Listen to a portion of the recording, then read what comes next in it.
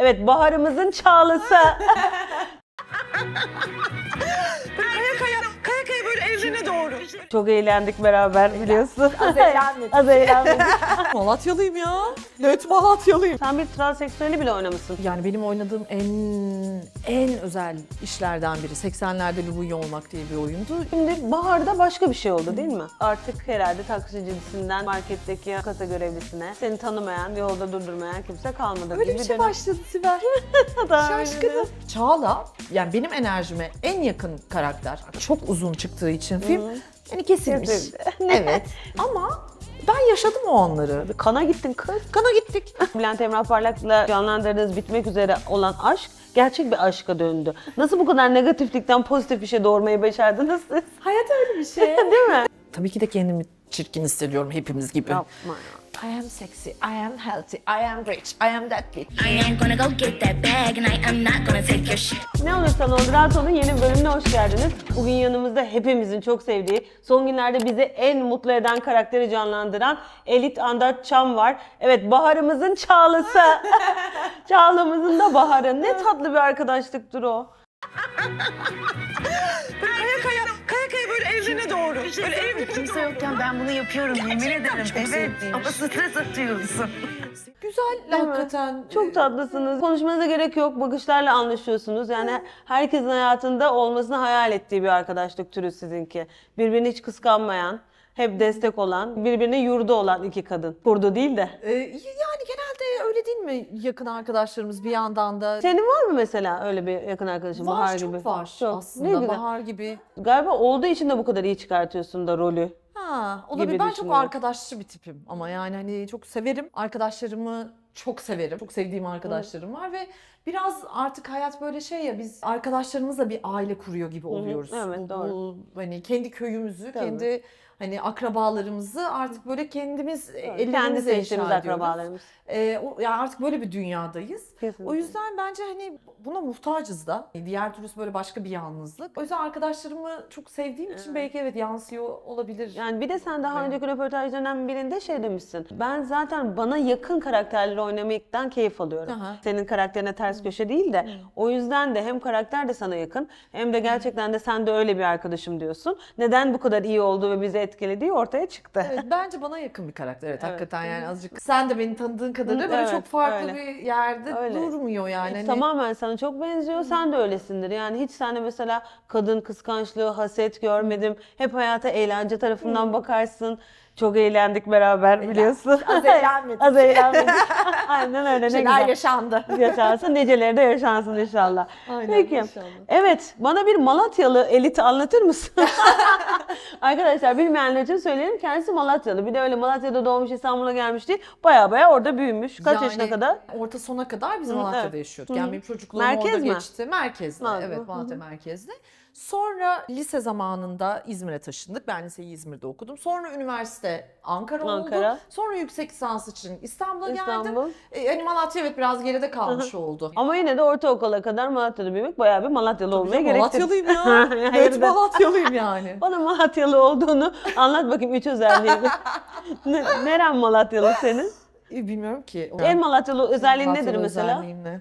Şey var ya Malatyalıların ortak özelliği Malatyalı olmasıdır Malatyalı olması Bu, da. şarkı, bu şarkının Yani- anlamı da şu anda Evet, bu. bundan başka bir ortak özelliğimiz yok belli ki yani. Evet. Malatyalıların ortak özelliği Hepsinin Malatyalı olmasıdır Tek ortak Evet. özelliğimiz Malatyalı olmak. Malatya- Valla bilmiyorum o kadar şey değilim ama çok da sık gitmiyorum. En son 5-6 sene önce bir festivale olmuştu. Malatya Film Festivali. O, o zaman gitmiştim. Çocukluğumdan beri belki hani yani Malatya'dan ayrıldığımızdan beri üçüncü kez falan gidişim oldu. Böyle birazcık bir kopukluk oldu galiba. Bir tane Malatyalı dayı var. YouTube'da falan ya da Instagram'da çok önüme düşüyor. Malatyalıların ortak özelliğini sayıyor ilçelerine göre. İşte en akıllısı Arapgir, onu geçersen Çırmıklı, işte şeytanı sahtekarı, Darende falan diyor. Benim hayatımda çok Malatyalı oldu. Sonra diyor ki orada merkezimize laf yok. Çünkü bu kadar ilçenin olmuşu olmamışı o merkezde toplanıyor. En akıllısı Arapgirli. Onu geçersen Çırmıktılı. Şeytanı, sahtekarı Darendeli. Tetikçisi, mafyası Pötürgeli. Ekmek sahibi, han sahibi Akçadağlı. Doğanşehirli göçmen. Hekimanla götünde korkar, argovana dişi yok. Merkezimize laf yok. Niçin merkezimize laf, yok? yok, aha. Çünkü bu kadar ilçenin görmüşü görmemişi hepsini idare ediyor. Yani kendi içinde küçük çok da büyük bir şehir olmasına rağmen çok kozmopolit, çok yani farklı e, o kasabalardaki farklı karakterleri de barındırıyormuş. Sibel hiçbir fikrim yok. Atladık. Geç bu soruyu. Geç bu soruyu. Güzel patlaması da güzel oldu. Evet güzel oldu. Güzel oldu. O, o kadar Malatya. Elit işte ya. Elit. Yok o olmadı. O kadar. Elitmiş kendisi Malatyalı değil. Peki. ODTÜ sosyoloji. Yani o da tabii ki çok ters köşe ama bir taraftan da e, oyunculuğun en iyi yatırımlarından biri değil mi sosyoloji okuması? Benim olmak? için öyle oldu. Yani ben tabii ki önce konservatuvar okumak istedim. Ailem çok sıcak bakmadı. Derslerim de böyle fena değildi. Hani o yüzden hazırlandım, kazandım, gittim falan. Ben başta bir tık buruktum konservatuvar okumadığım için ama şimdi baktığımda doğru olduğunu düşünüyorum. Yani sosyoloji doğru bir baz oluşturmuş oldu bence oyunculuk için. Bir de bir yandan ben hani ODTÜ'de sosyoloji okurken bir yandan tiyatro yapıyordum Yapıyordun. ve hani hiç hani sosyoloji okudum sonra vazgeçtim oyuncu oldum falan gibi değil. Bunu yapacağımı biliyordum ya da bunu yapıyordum ve hani buradan devam edeceğimi biliyordum. Sosyolojiyle ilgili bir meslek olmayacağını, bunun benim oyunculuğumun bazını oluşturduğunu Bir biliyordum. O taraftan yüzden da aileni oyaladığını. Peki bir doğru şey bir yerde oyalamış oldum ama. Herkes mutlu. Bugüne kadar çok acayip sahne deneyimim var, çok acayip sinema deneyimim var, çok acayip dizi deneyimin de var. Yani bir sürü şey yapmışsın. Yani sana çalışırken o bilmiyordum sen bir transseksüeli bile oynamışsın Evet. sahnede bir oyunda. Evet. Üç tane hetero kadınlar transseksüel kadını canlandırıyorlar Evet, sahnede. evet, aynen. 50 yaşında bir trans kadın Evet. canlandırmışsın. Nasıl bir duyguydu? Yani benim oynadığım en en özel işlerden biri 80'lerde Lubunya olmak diye bir oyundu. 7 sezon falan oynadık zaten onu hani böyle biteli bayağı oldu. Yani müthiş bir hikaye. Üç trans kadın darbe dönemini anlatıyor aslında. Yani hani darbe dönemine hiç transların gözünden bakmadık. Yani herkesin çok acı çektiği o dönemde translar da çok çekti. Bir gün bana evde oynarsın. Sen oynarım ben. Evet. Nedir yani? Ama çok çok özel bir oyundu Ay, hakikaten çok. ve bir hani tabii ki trans kadını oynamak da bir bir şey. Çok ciddi bir deneyimdi benim için. Nasıl bir araştırma yaptın? Vakit getirdin mi? Çok çok vakit geçirdik. Evet ben sonra bir de Kutlu Ataman'ın filminde Hilal Feza ve Diğer Gezegenler'de de e, yine başka bir trans kadın oynadım. Onun için de ekstra başka çok yani şey set öncesinde çok fazla tecrübemiz oldu. Çok trans arkadaşlarım var. Hala görüştüğüm arkadaşlarım da var. Aslında oralardan anladığım şey şu. Öyle bir fark yok. Değil mi? Öyle bir fark yok yani. Hani Kadınız. o ben başka bir şey oynayacağım, başka bir yere gideceğim şimdi çok kendimden. Hayır öyle bir şey değil. Kadınız. Evet. Peki evet bu kadar deneyimden sonra şimdi baharda başka bir şey oldu değil mi? Artık herhalde taksicisinden hani marketteki hani kasa görevlisine seni tanımayan, yolda durdurmayan kimse kalmadı. Öyle gibi bir şey dönem. başladı Sibel. Daha Şaşkınım. Hani şaşırıyor ne yapacağımı da bilmiyorum.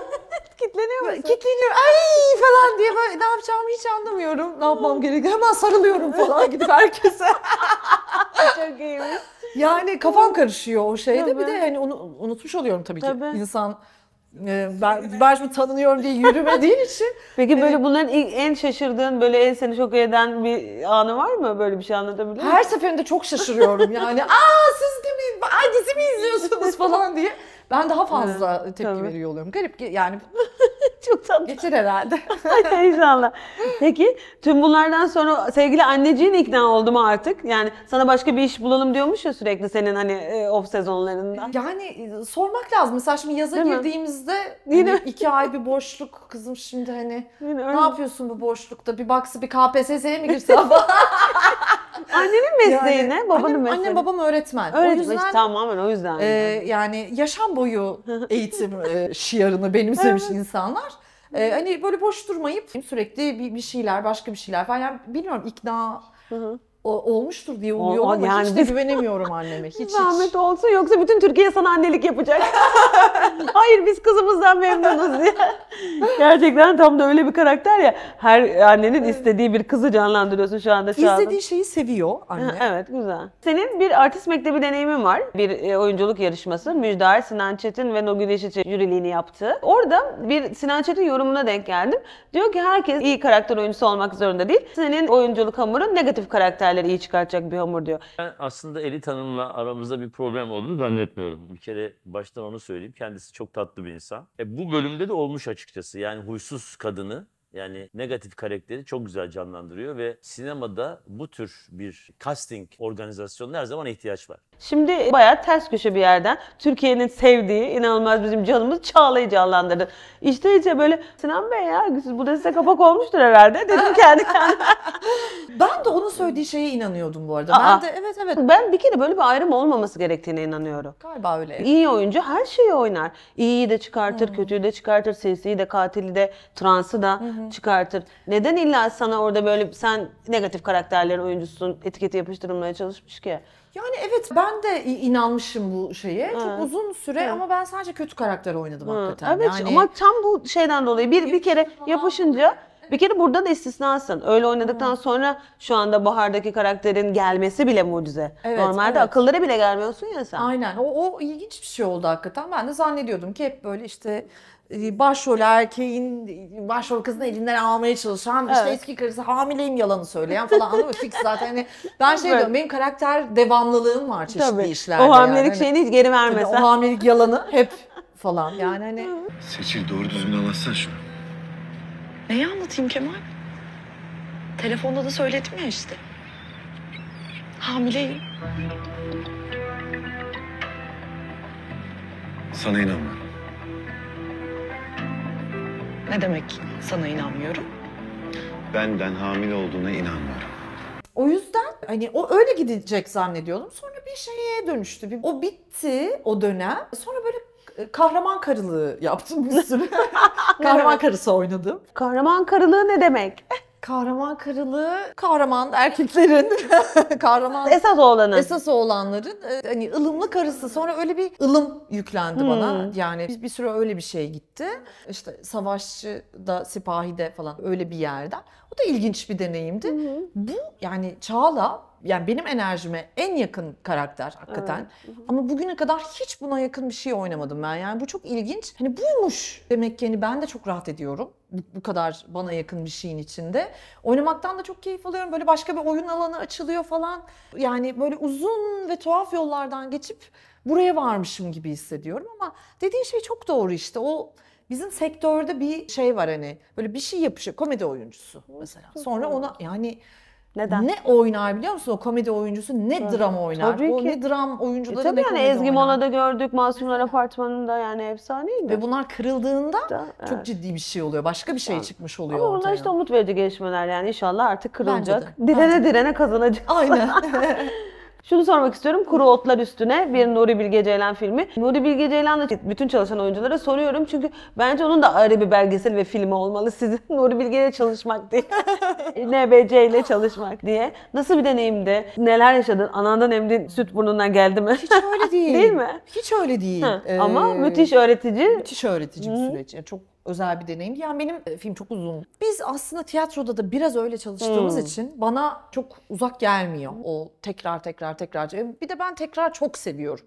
Bu sanat dalında her bir tekrarda yepyeni bir şey çıkıyor. Yani 3'te başka, 5'te başka Ay mesela 8, 10, 11 aynı gidiyor diyelim. Aa, 12'de başka bir şey oluyor. Hmm, tabii. Bunun bunu keşfettikçe zaten böyle olduğunu deneyimledikçe herkes sever tekrar diye düşünüyorum. Çünkü o amaç iş bitirip eve gitmek değil ya. Yani hani En amaç olsun. evet ya o oyun halinden zevk alıyoruz zaten hani.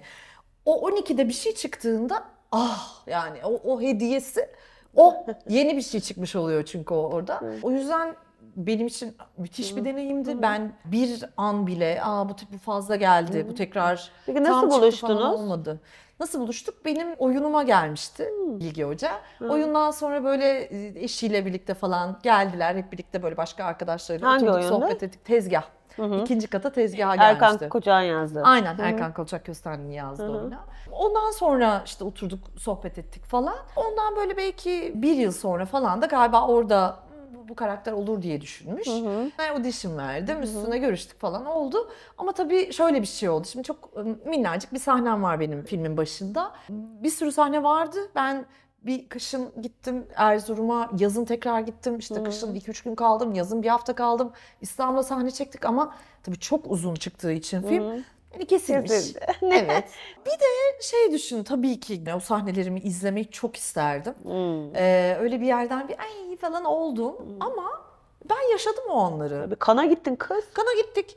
Film sürecinde çektik. Evet. Yani ben o sahneleri iyi ki de çekmişim. Hani o bende var sonuçta o Tabii deneyim. ya. Ee, Okul o yüzden gibi. böyle bir yerden tamam yine de Tabii. iyi, mutluyum Evet. falan Herkese diye. kısmet olmaz. İnşallah daha iyileri, daha uzunları Evet, da olur. evet aynen Tabii öyle. ki. Borcu olsun. Tabii. Bir de öyle bir hani yönetmen film oyunculuğu skalasına girince diğer yönetmenlerin de dikkatini çekiyorsun ya. Var mı hayalinde mesela şununla da çalışmayı çok istiyorum bir sanat filminde diye düşündün? Yani bağımsız sinemanın köpeğiyiz. Hı, tabii ki. ki.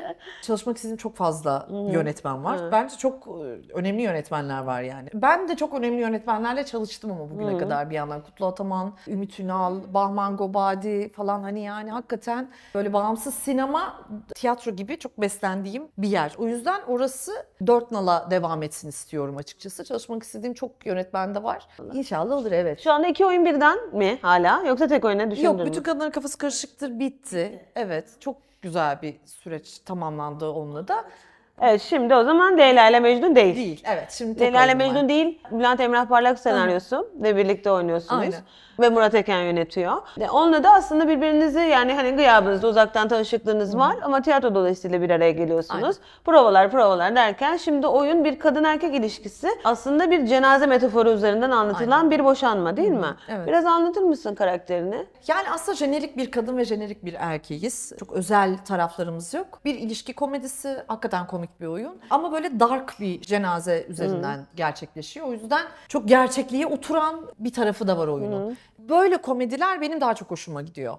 Yani hani hakikaten ağır bir tarafı var ama orada bir komedi de olur ya hep yani hani o ağırlığın içinde. Böyle çok zorlamadan, huş etmeden, çok böyle güldürme çabasına girmeden güldürmeyi başarabilen bir oyun. E, Çok kıymetli bir metin benim için yani. Leyla ile Mecnun değildiği karakter de kendine yakın hissettiğin bir karakter mi? Biraz zeki bir kadın galiba. Yani zaten ağzı laf yapıyor, küp tiyatro sahnesinde atışıyorsunuz. Oralar sana benziyor. Yani e, benden daha olgun bence, benden daha sakin, benden daha bir şeyleri yönetebilmeyi beceren, birazcık daha olgunlaşırsam olacağım bir böyle bir üst versiyonu.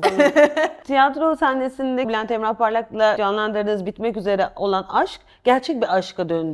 Nasıl bu kadar negatiflikten pozitif bir şey doğurmayı başardınız siz? Hayat öyle bir şey. Değil mi? ya bir de böyle birbirinize o senaryonun üzerindeki negatiflikle hani en kötü şeyleri konuşabilmek en baştan belki. Oradaki bütün sorunları önceden siz bir fasıl geçtiniz belki de. Biz o yüzden tamamen sorunları çözülmüş bir ilişki. Evet, değil mi? açık yani. İlişkide sorunu vardır ama en azından o kadar açık işte o negatifliği konuşmak da belli bir güveni de doğurur ya. Belki şey olabilir, sahnede çok güvenmen gerekiyor ya partnerine. evet, kesinlikle. Ee, ve bir insanı sahnede tanımak da çok ciddi bir tanıma Tabii, biçimi. Seyahatte tanımaktan daha iyidir. Çok daha iyi. Yani sahnede herkesin e, zayıf yönleri, güçlü yönleri, güvenilir yönleri, güvenilmez yönleri, her şeyi böyle zaafları, bütün oyuncuların Heyecanı, tabuları, batılları. Tabii her şey, her şeyiyle bence çok garip özel anlar yaşanıyor. Yani bir insanın partneriyle bu kadın erkek fark et, yani Demet'le de çok özel anlar yaşadığımızı düşünüyorum ben. Hani bir şey yaşıyoruz, çıkıyoruz ve hani o bizim için özel biz bir yere girip çıkıyoruz. Onun yani. arkadaş mıydınız daha önceden Demet Evgar'la? Demet'te de evet e, Hı. biz yıllar önce e, Sofra Sırları diye bir Hı, filmde aa, evet, oynadık birlikte. Orada da çok özel bir yerlere girip çıkmıştık mesela. Hani biz- yani o bir şeydir ya bizim bir geçmişin var gibi bir şey oluyor. Bizim Tabii. bir şeyimiz var. Hani Tabii. biz Beraber bir yol girdik. yürüdük, beraber. Evet, önemli Evet. bir yol yüründü. Yani işte Bülent'te de evet önemli bir yol yürüdük o prova sürecinde. Murat yönetmenimiz yani harika biri. Harika bir yönetmen. Bize çok çok güzel bir dünya kurdu. Ee, Murat'ın kurduğu dünyada hani biz de birbirimize güvenmeyi, yaslanmayı, yani ne, kadar korkarız, ne kadar yaklaşırız, ne kadar uzaklaşırız. Bunlar çok önemli deneyimler. Belki hayata da yansıyordur Yalnız tabii bir ki. de zor olmuştur diye de düşünüyorum. Yani beraber oyun sahnelenmeye başladığında ilk gittiğiniz Ali Sunal'ın programında Ali'ye şey demiş. Dikkat et elit zordur. Hani şaka yapmaya çalışma. Seni kendi şakanla döver falan deyip hani hemen seni tanımış, sahiplenmiş. Bir de arkadaşlarına seninle ilgili tüyo veriyor. Falan çok tatlı. Çok tatlı. Demek ki hani o güven dediniz ya ikiniz de tabii ki hani bir fasıl hani evlilik atlatmış insanlardınız, yaralıydınız, dikenleriniz vardı belki de. O dikenleri aşma aşaması da çok önemli değil mi? Kesinlikle kesinlikle olabilir. Ben şeyi de iyi hatırlıyorum. Hakikaten premierden sonra Bülent'e şey demiştim. Çok güven sana sahnede. Yani o o başka bir şey çünkü Çok yani hani şey. sahnede güvenmek bir sürü anlama geliyor. Şey gibi böyle hani arkan atlamak gibi değil mi Evet uçurumdan? evet aynen hani ben bırakabilirim onu onu gördüm ve premiere kadar çok çok büyük bir stres bir şey falan filan. Hah tamam biz biz yapabiliyoruz. Yani o onu vermişti bana. Evet o yüzden hakikaten bu da hayata yansımıştır belki. Peki gülüyor musunuz beraber çok? Çok yani gülüyoruz, çok. gülme krizleri, hani o anlar, sahnedeki paslaşmalar. Çok gülüyoruz. Değil evet mi? sahnede bir de benim dalağım çok düşük. Çok. Bülent de farkında. O yüzden olabildiğince hani bir minik bir şeyde beni kaybedeceğini biliyor yani. O yüzden bazen o da duramıyor. Bir yere düşüyoruz ama benim çok düşük dalağım yani. Hani e, özellikle Bülent'e karşı hiç tutamıyorum orada bir, şey olduğunda. Hani Onun o ciddi görüntüsünün altında birden o patlattığı şeyler değil mi? Evet, evet, aynen o. Onlar- aynen o bildin. Aynen Evet, ondan. onlar. Evet. Birazcık seninle sektördeki güzellik algısını da konuşmak istiyorum. Ya Çok güzel bir kadınsın. Ya, çok teşekkür ederim. Ve güzellik komedi yapan kadınlar için bir dezavantaj maalesef ki ülkemizde. Hani bu kadar güzelsin kızım git Komedi manken ol. yapamayacak kadar da güzel değilim canım. Ay, canım, yok. bir kere güzellik yarışmasına girmişsin daha önce. Değil mi? Çocuktuk. orada. Çocukluk çocukluk girmişsin boy poz şu ayak bileğinden anlarım ben. Baksana el bilek ayak bileği.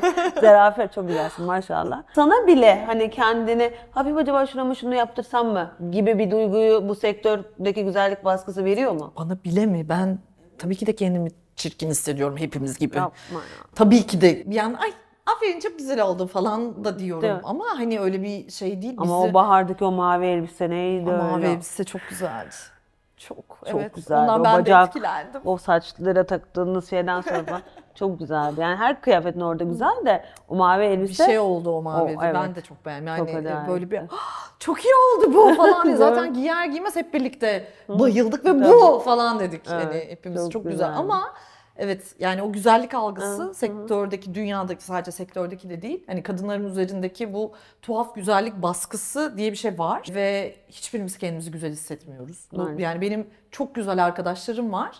Onlar da hissetmiyor. Yani gerçekten çok güzel arkadaşlarım var. Onlar bile ama ama burası da bir şey. Bak benim buram biraz şöyle, biraz hani şu şuram Maalesef. buramı böyle yapayım da bu şey görünmesin. Bu böyle bir şeyimiz var ama bundan kurtulmamız mümkün de değil. Hani ben buna karşı savaşalım ve Birbirimizi frenleyebiliriz ama bence yakın arkadaşlık onu da gerektirir yani. frenlemek mi ya da şey yapmak hani birbirimize e, rahatlatıp iyi gelebiliriz bence. Yani de. hem Evet. öyle olabiliriz bazen de böyle çok acayip estetik hataları yapılıyor ya yani Evet. işte gidip olmadık bir dudağı şişiriyor bir arkadaşım Hı. geliyor tanıyamayacağım bir halde geliyor falan. Yaptırmadan önce konusunu açarsa hani minik müdahaleler konusunda ısrarcı olabiliriz belki de. Yani ben hiç tabii ki hiçbir şeyine Ha, karşı falan evet. Değilim. İşte benim burnum estetik. e, Dolgu botoksum yok. Oralara girmedim. Gireceğim bir yere tabii ki yani hani bu bundan tabii ki yaptıracağım Hı hı, bir gün hani şey değil. Ama mesela şeyden korkuyorum da. Bir şeylerin çok değişmesinden falan hani öyle bir kaygılarım da var. Yani o kadar korkak olmasam Hani bir sürü şey denemeyeceğim. Çok da meraklı bir tipim yani. Hani o işte ay dudağım öyle olsa nasıl olur? Kaşım böyle olsa nasıl olur falan. Çok merak ediyorum ama hakikaten korkumdan yaptıramıyorum. Çünkü evet çok facia şeyler olabiliyor ya. Yani öyle bir şey var ama yani burada kadınları suçlamak da hani Evet. mı? Hiç hiç öyle bir şey yok. Ay aman e, botoks yaptırmış ne hale gelmiş. Ne yapsın? Botoks yaptırmayınca da ne laflar edildiğini biliyoruz yani hani. Peki şarkı söyleyebiliyor musun? Yok. Ee, ama çok güzel dans ediyorsun. Ben biliyorum beraber dans ettiğimiz için de biliyorum. Sahnede bir müzikal falan öyle şeyler de var mı hayalin? Yani e, bu şeyde 80'lerde Lubunya olmakta trans oynadığım oyunda şarkıda söylüyordum ama Hı. karakterden şarkı Hı, söylüyordum.